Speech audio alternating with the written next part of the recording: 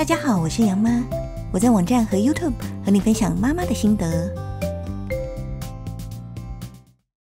今天要讲的是大部分的妈妈都会遇到的小孩近视问题。台湾近视率在全球名列前茅，如果不控制变成高度近视，将来会有失明风险。养羊天生散光三百度，上小学更多了近视。杨妈试过很多方法，今天会和大家分享心得。之前养羊时代角膜塑形的影片得到很大的回响，很多家长都私讯问问题。今天特地帮大家整理常见 Q&A。根据国民健康署一百零六年儿童青少年视力监测调查结果显示，幼儿园大班近视盛行率达百分之九，小一学童攀升到十九点八，到小二暑假更是倍数成长到三十八点七。年纪越小，近视度数增加越快。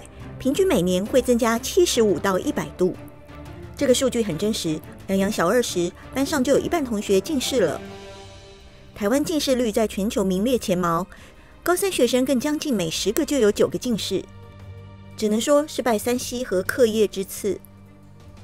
如果未加以控制，容易变成高度近视，而高度近视甚至有百分之十会导致失明。要如何预防近视或有效控制近视度数呢？这是国民健康署宣导的护眼六招：每日户外活动二到三小时以上；未满两岁儿童避免看荧幕；两岁以上每日不要超过一小时；用眼三十分钟休息十分钟；看书保持三十五到四十五公分距离；读书光线要充足；均衡饮食，天天五蔬果；每年定期一到两次检查视力。家长如果发现孩子经常眯眼看书或看电视，就要及早带他到眼科检查视力。如果确认近视了，就得定期到眼科报到。除了验光测度数以及视力，最好接受眼轴量测，评估生长进度，确认近视控制效果。现在养羊就是每三个月到眼科报道一次，因为是长期抗战，建议家长找方便。设备齐全，而且医师值得信赖的眼科为优先考量。若是大医院，有可能等待时间很久，看诊也没办法很仔细。这是我换过五家眼科含大医院的心得。以下分享养羊试过的方式：眼球训练。因为养羊天生散光三百度，幼儿园时就有些假性近视。所以从中班开始，我就带他到眼球运动训练中心，一周三次，每次一到两小时，做各种看近看远，还有刺激眼球的运动。其实这种物理性治疗效果就跟去户外或是打桌球一样，虽然很有效，但是非常花时间。当时杨洋做了两周眼球运动后，再去眼科复诊，假性近视就不见了。但其实只要停止一段时间不做眼球运动，又会复原。而且不是每个小孩子都坐得住，我都想办法让当时还是幼儿园生的洋洋边听歌边做眼球运动。但是后来洋洋上小学后就比较没时间，而且这家眼球运动中心也没营业了，所以我就让洋洋直接戴眼镜。配镜矫正。近视了，如果不配眼镜或是度数不足，容易加速恶化，因为看不清楚，就会靠得更近去看。洋洋上了小学一年后，近视不断增加，一年就多了两百度，换了两副眼镜。后来二年级我不让他去安亲班，改去学校课后班，比较多户外运动时间，近视才没增加那么快。散瞳剂。若已经产生近视，有时医生会开立低浓度的散瞳剂，就是阿托品药水，抑制眼轴增长并减缓近视的进展。散瞳剂浓度越高，对抗近视的效果越好，但副作用也会随之增加，像是瞳孔放大、畏光、看近模糊等症状。户外活动时应使用变色镜片或太阳眼镜以及帽子等，减少畏光副作用。洋洋戴眼镜时也有搭配点散瞳剂，刚开始点低浓度，后来度数还是增加太快，就改点浓度比较高的药水。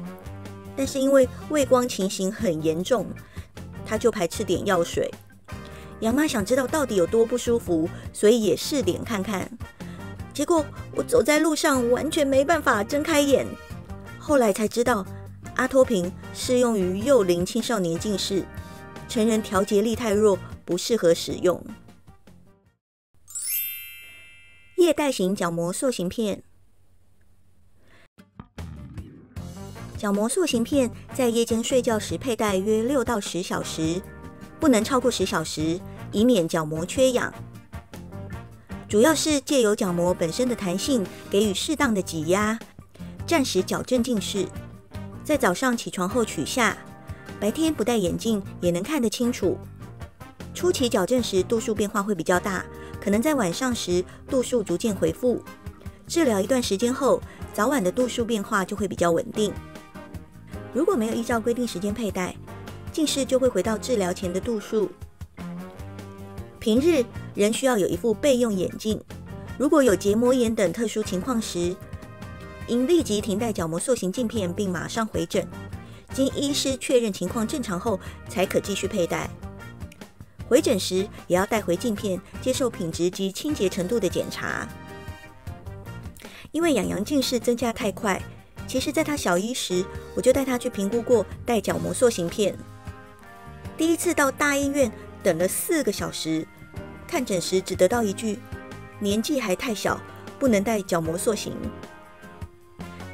养羊小二时，再到眼科诊所询问，不过当时的养羊很害怕。连试戴都不敢戴，直到他的一位同学成功戴起角膜塑形片，白天不用再戴眼镜，可以尽情的打篮球，不怕摔坏眼镜。美洋才决定再试试看，而且我告诉他，试戴过程我会拍成影片，他也可以鼓励其他人。后来他的影片真的让许多小朋友也决定试试，很多家长因此都对我们表示感谢。我们一直重复试戴了五副，最后找到最适合的角膜塑形片。因为要向美国订购，十天后才会到哦。十天后我应该就要和眼镜说拜拜了。大家也要好好保护眼睛哦。十天后，洋洋终于拿到角膜塑形片了。一开始是爸爸妈妈帮洋洋戴，因为洋洋很害怕，眼睛都不敢张开。刚开始时，每天都像在打仗，要花一个小时以上才戴进去。而且杨洋白天也还不太适应，一直想戴眼镜，直到第七天才终于适应，整天都没戴眼镜了。后来我让杨洋直接去诊所学习自己戴和取出镜片，就顺利多了。他还自己研究出一套戴角膜塑形的方法，我只负责每天帮他清洁镜片。清洁镜片是戴角膜塑形最重要的事。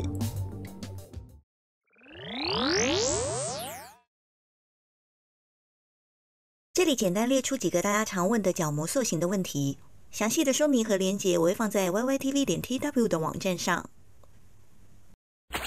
角膜塑形片价格，价格因素除了镜片厂牌、度数、透氧度以外，依各医疗场所的设备、人员等成本的不同，每家眼科的报价可能都不一样。一副镜片的费用大约在新台币两万五到三万六之间。像我们是高度散光，费用就比较高，而且角膜塑形镜片每两年要替换一次，过度延期使用，除了容易感染，也会降低控制的效果。镜片清洁费用也是一笔不小的开销，包括护理液、舒润液或人工泪液、冲洗液、去蛋白清洁液，还要定期换吸棒、镜片盒，每个月耗材费用估计在新台币五百到一千不等，视品牌而异。几岁才可以开始佩戴角膜塑形片？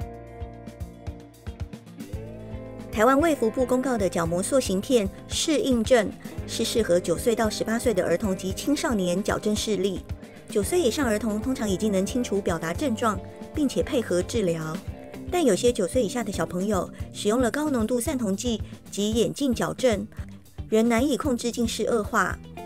若眼科医师判断角膜塑形片能带来更好的控制效果，就可以跟家长进行沟通讨论。这是适应症外使用，并不违法。虽然如此，还是有医生认为小朋友的角膜还在发育阶段，不建议过早使用，最好在九岁之后再佩戴，否则恐怕导致角膜变薄，增加感染风险。什么情况不适合戴角膜塑形片？食药署表示，以下状况不适合戴角膜塑形片：眼部开过刀、严重干眼症、严重过敏性结膜炎、急性结膜炎、角膜微散光问题严重、先天性近视患者、睡眠品质不佳的人。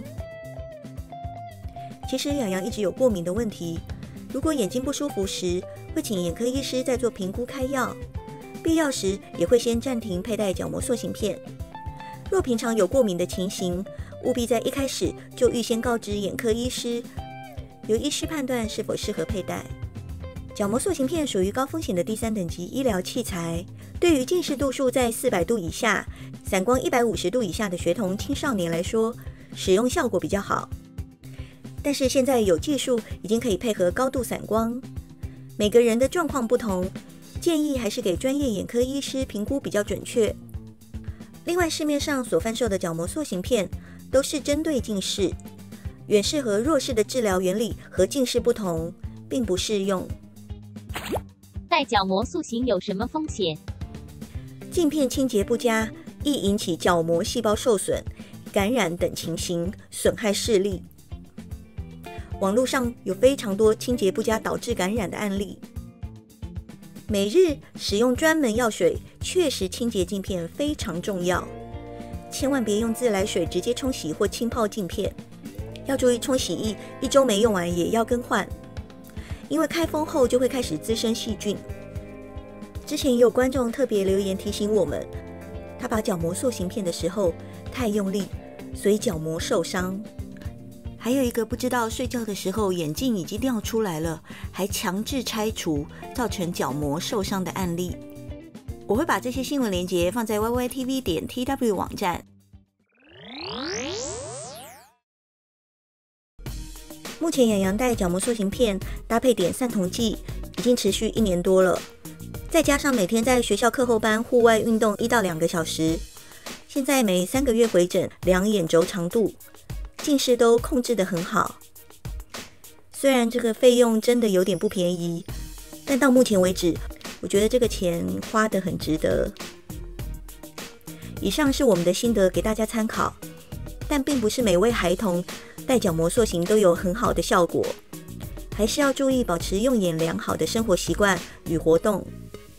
希望大家都能成功对抗恶视力。如果想听我分享更多有用的讯息，请订阅我并打开小铃铛。Y Y T V 点 T W 网站还有更详细的内容，以上媒体也看得到哦。就这样，我们下次见喽。